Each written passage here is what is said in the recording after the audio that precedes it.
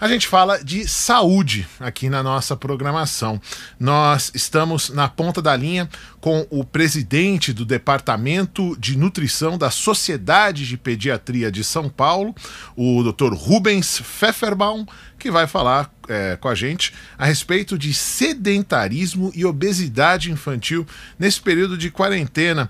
Dr. Pfefferbaum, obrigado por conversar com a Jovem Pan. Espero que eu tenha falado sobre o nome do senhor corretamente. E eu começo essa entrevista perguntando: nós tivemos aí a percepção de algum aumento, de algum é, crescimento de atendimentos é, de pais levando os filhos, de crianças que estão comendo é, mais erroneamente. Como é que está a alimentação nesses tempos? Isso tem impactado a saúde das crianças? Boa tarde de novo. Boa tarde, Tiago. Boa tarde a todos os ouvintes da, da Jovem Pan. Então, Tiago, é, essa é uma pergunta muito interessante. É, qual o impacto na saúde infantil de todo esse período da quarentena? Sem dúvida, as crianças são um dos grupos mais vulneráveis no sentido dos efeitos dela, não somente da doença, graças a Deus, a, a, o Covid-19 ele afeta pouco as crianças, é um grupo de menor risco, porém, o que preocupa durante todo esse período é o isolamento social que as crianças têm, a escola, a socialização é extremamente importante e, com tudo isso, há impactos na nutrição, na atividade física dessas crianças, porque o confinamento, maior ou menor, faz com que elas tenham dificuldades na alimentação, vai depender muito de como a família se estruturou em relação ao confinamento, ao preparo dos alimentos e também, sem dúvida, não podemos dizer que a atividade física é extremamente importante. É, e doutor, tem-se uma, uma diferença nos tipos de, de alimentos que têm sido consumidos nesse período? Porque às vezes é uma discussão que se coloca muito nas escolas.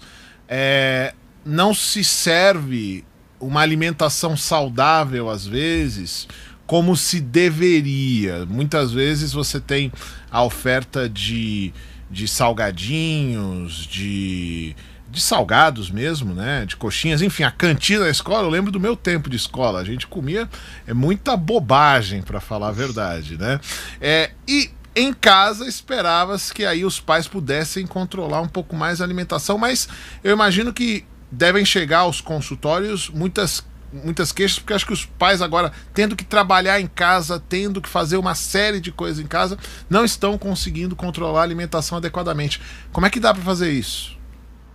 Essa, essa, é uma pergunta muito interessante, né, Tiago? E a primeira, a primeira uh, afirmação é que realmente nos últimos anos mudou-se muito a questão da alimentação escolar mesmo nas escolas particulares, nas escolas da rede pública, existem programas de uh, orientação alimentar, existem programas que são orientados por nutricionistas. Muitas cidades no estado de São Paulo utilizam é, alimentos já in natura, não é? Alimentos muito pouco processados e muitas das escolas têm também algo que eu considero muito importante, que é a educação nutricional das crianças.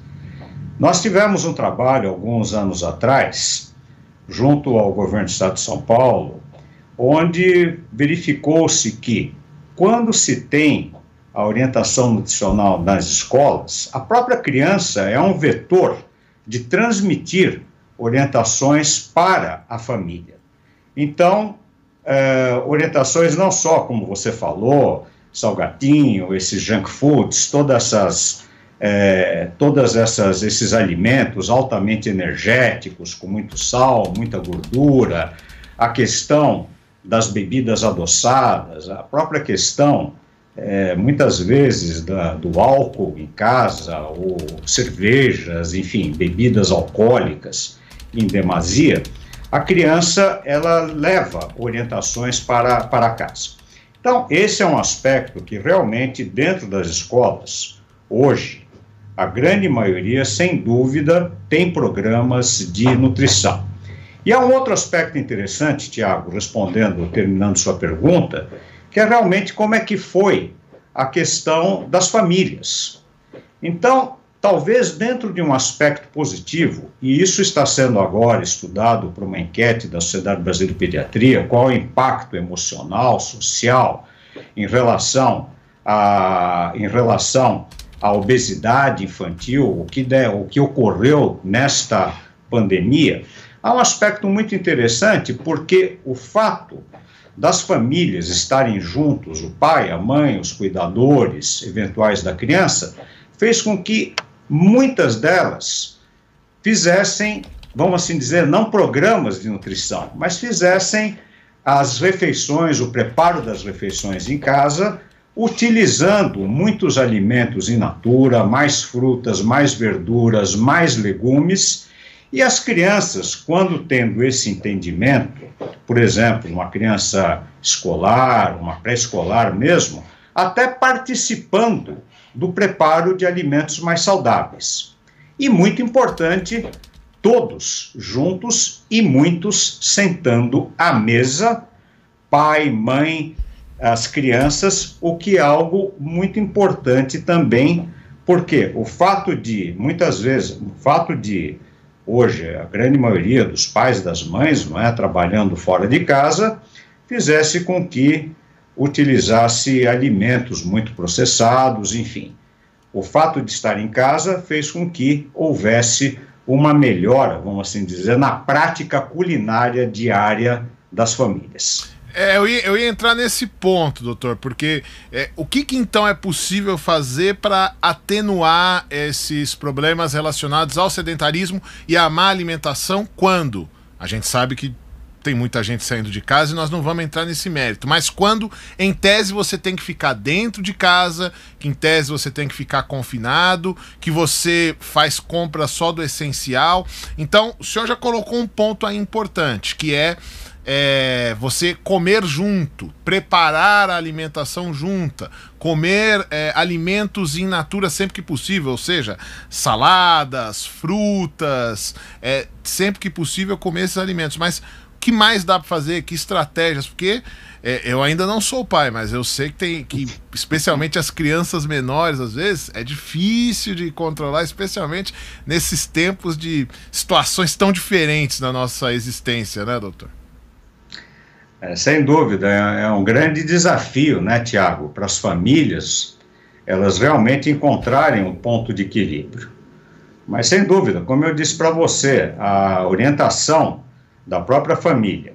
E a orientação, eu diria uma orientação técnica, toda criança precisa em relação a uma alimentação, porque a gente está falando desde crianças, vamos assim dizer, recém-nascidas ou lactentes, até um adolescente. A pediatria tem toda essa gama de variação. E lactentes, crianças muito pequenas, precisam ter uma orientação pediátrica ou uma orientação de uma nutricionista, e isso passa pela família, passa pela orientação do pai, da mãe do cuidador. Agora, em relação a um outro aspecto também importante, é a questão da atividade física durante o confinamento. Não só o tipo de alimento que deve ser oferecido, como eu disse, frutas, legumes, verduras, alimentos in natura, evitar excesso de sal, evitar o excesso de açúcar, enfim, toda essa orientação que a população já tem de uma maneira geral, já tem noção em relação a isso, para que não haja um, um, um para que não haja um excesso calórico na alimentação das crianças, é muito importante também que haja um gasto energético da criança. Através das brincadeiras, também da mesma forma, desde um lactente até um adolescente, qual a melhor atividade física que eles possam fazer para que não fique parado durante todo esse período. Talvez este problema da inatividade física tenha sido o maior problema. Por quê? O, a questão hoje do confinamento, nós vivemos no mundo virtual, ou seja, telinhas, telões, isto faz parte de horas, horas, não somente das crianças, mas também do pai, da mãe, daqueles que estão trabalhando em home office ou não, do confinamento, não se sai tanto de casa. Agora, com essa certa flexibilização e o distanciamento social, ainda é difícil para a criança. Por quê? O brincar dela é muito importante para o desenvolvimento cognitivo, social, desenvolvimento emocional, e nós, por enquanto, estamos com as escolas fechadas. Essa é uma grande discussão que parece que nos próximos meses vai ser resolvido, pelo menos parcialmente, não é? Vai ter que se encontrar uma, uma solução em relação a isso mas a atividade física das famílias é importante e depende muito da forma cultural que essas famílias elas uh, encaram esse problema. O sedentarismo é algo que assim não é depende somente da criança, vai depender da participação da família.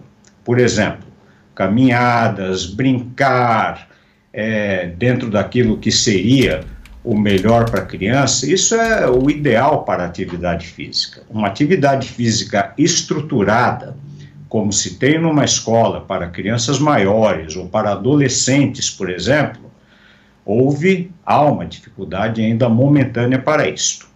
Mas essas atividades do brincar em casa, de poder sair para um parque, de poder correr, de poder fazer caminhadas, eventualmente andar uma, com uma bicicleta, ou crianças pequenas estar num parque brincando ao ar livre e as brincadeiras familiares são muito importantes para manter pelo menos um nível mínimo de atividade física que vai impactar na obesidade, na prevenção da obesidade dessas crianças em todas as faixas etárias. Muito bem, nós ouvimos o presidente do Departamento de Nutrição da Sociedade de Pediatria de São Paulo, Dr. Rubens Pfefferbaum, falando à audiência, reportagem da Jovem Pan. Dr. Pfefferbaum, muito obrigado e até uma próxima oportunidade. Muito obrigado, Tiago. Uma boa tarde para você, seus ouvintes espectadores. À sua disposição, Sociedade de Pediatria de São Paulo, sempre à disposição daquilo que pudermos informar e orientar a população. Muito obrigado. Nós que agradecemos.